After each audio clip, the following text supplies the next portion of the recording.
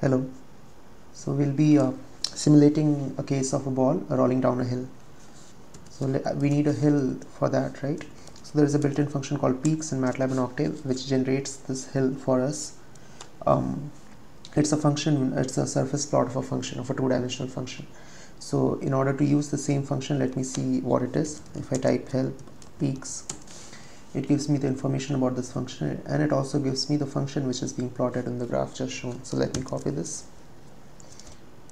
Uh, let me copy this and um, let me exit and create a file called uh, rolling ball.m right in the text editor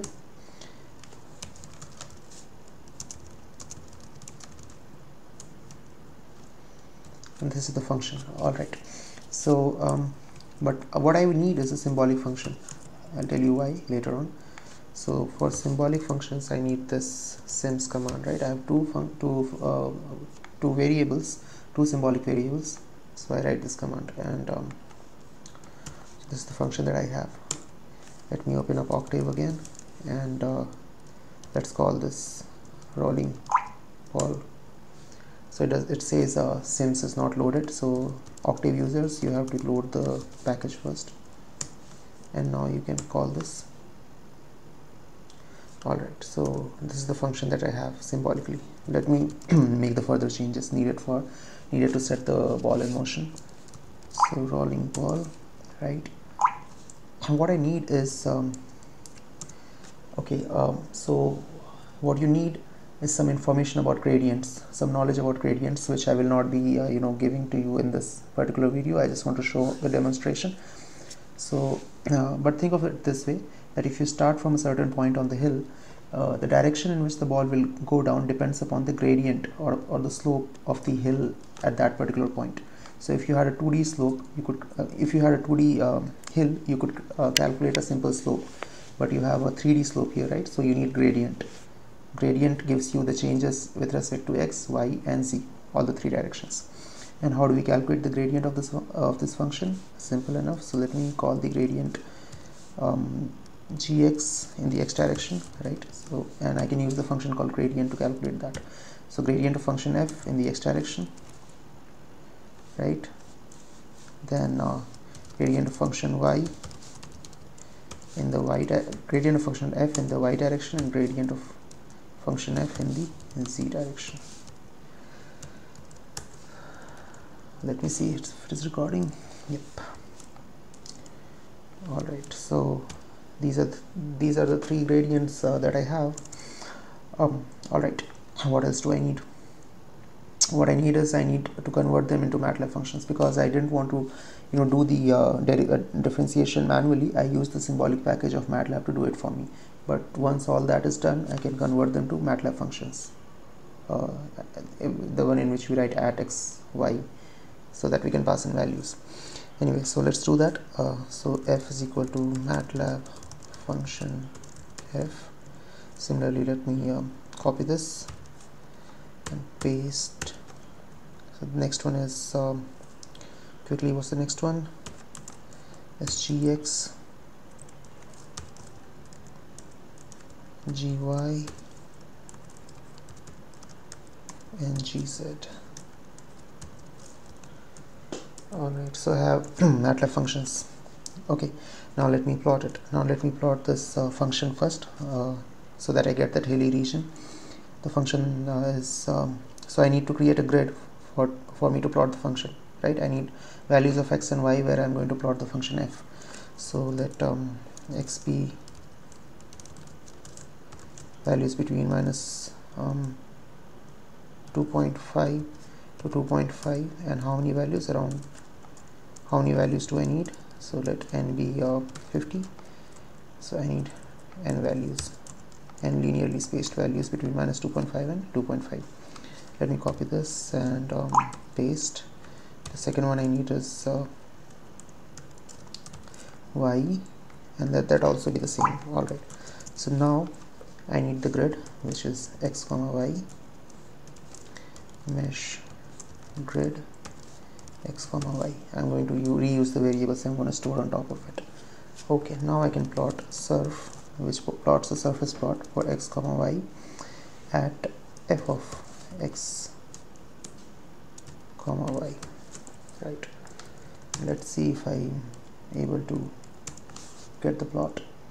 Let's say z is undefined here uh, line 11 so let's look at that line 11 there's no z. Hmm. yeah because I, there's only two variants. I uh, in like in trying to do it fast I added this extra line. So let me get rid of this. There are only two right? There only because we are in uh, we have a function of two variables x y. So we have variants along those two directions. So I forgot to get rid of this as well fine. So we have this. All right right so let's see. Okay so if I want to you know set a ball rolling I have to, I have to pick a point where it starts. So let's pick this point. This point lies somewhere um, I think it around 0 and uh, 2 okay 0 and yeah 0 2 looks like that fine. So looking at this this is 0 somewhere here and 2 so let's pick these values and continue editing. So let me do hold on first. Let me get rid of the sound again. Hold on. And uh, let me pick up two values. Let me call x pos which is uh, 0 and y pos which was 2 I can just you know plot it and check if that's the right is that if that's the place where I want it. So I use a 3 plot 3 command because I'm going to be plotting in three dimensional space. So x pos y pos and what's the z value? It's the f of x pos comma y pos with what? With a with a with a round marker red color and let me also color the face. Marker face color to be red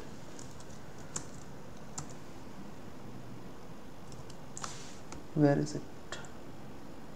Can I see it?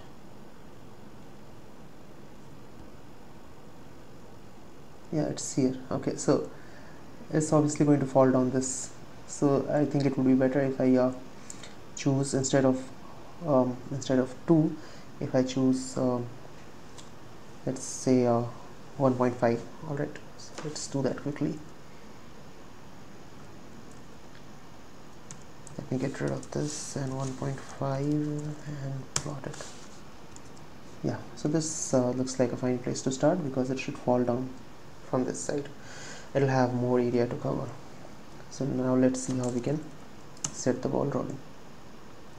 Alright so first I want to specify the number of steps that I'm going to take. So for example I'll take 100 steps or 50 let's say let's not take too many steps so I'm going to ca calculate my uh, new position at each of these steps. So I have to run a loop that goes from 1 to n steps. Right uh, so how do I calculate the new position? So the new position will be given by x pos so remember what gradient is? In short gradient of a function at a point gives you the rate gives you the direction of the greatest increase. Right and the rate and the magnitude of that gives you the rate of the increase. So if you take a function if you take the uh, gradient of a function right uh, then you you know the direction in which the increase is going to be maximum. So if I know that direction I can multiply that by uh, the amount of um, the amount I want to move into a particular direction. So that will give me that will give me the uh, change in position along that direction. So remember the gradient gives you the in greatest increase right? So if I multiply it by minus 1 I get the great uh, the direction of the greatest decrease right? So I know the ball is going to fall where the direction where the uh, rate of descent is the greatest. So that's why I need to that's why what I do is I multiply it by minus 1 or I simply write minus times gradient so that is gx right? Gx times and it is uh, it is evaluated at x pos y pos and I need to multiply it by the step size that I'm going to take in that direction. So that's dx I need to specify what dx is. So that will be 0 0.01 there will also be dy which is 0.01 right. So uh, let me store that in a variable called xtemp I cannot update it now because let I'll tell you why.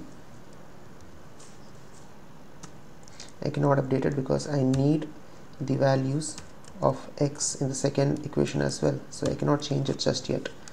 Because if I change it then this will become the new value which I don't want. So y temp is y pos minus uh, gy which is the gradient in the y direction times dy right and now x pos is equal to x temp and y pos equals y temp right? So now let me um, plot it. So let's just copy this line and let me paste it here. All right let me see if this works okay so as you can see the ball started rolling down the hill in this particular direction which makes sense. It does seem like it will come to this direction right? But it has a long way to go. So I can maybe I can increase the number of steps and let me also animate it. The way I do that is um, by uh, first let's increase the number of steps. So let that be uh, 150 and uh, what I do is I type a command called pause so before plotting each frame it pauses for let's say 0.05 seconds. And let let the ball roll down the hill. So it's rolling all right. But um, has it stopped? It seems it has.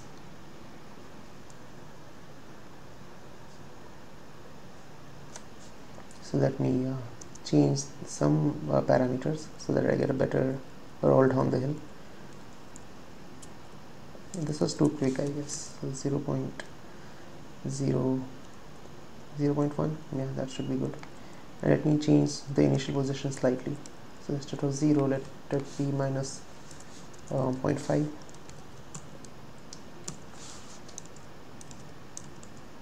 alright so let me run it again. I couldn't actually view it. I was busy switching windows.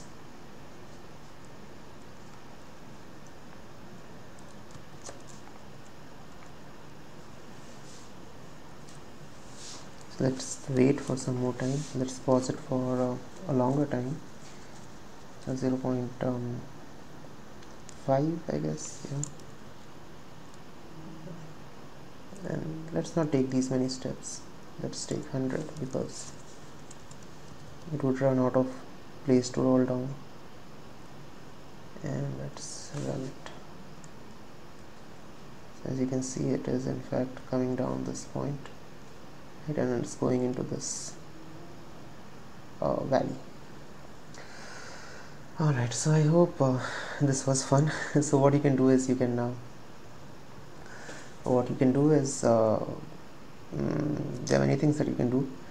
One thing that you can do is choose some other function for your hill and see how your ball rolls down that hill. So this is just a exercise for amusement.